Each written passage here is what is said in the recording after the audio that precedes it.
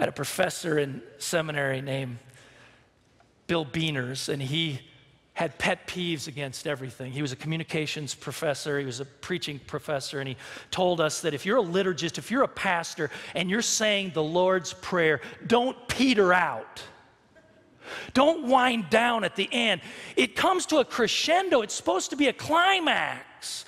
You say, For thine is the kingdom, the power, the glory forever. Amen. And when you say the Amen, what you're meaning is, Yes, let it be so. I agree. Through me, it can happen. That's what Amen means. He said, if you have a backbone, if you have a soul, you'll end it with a crescendo. Thank you.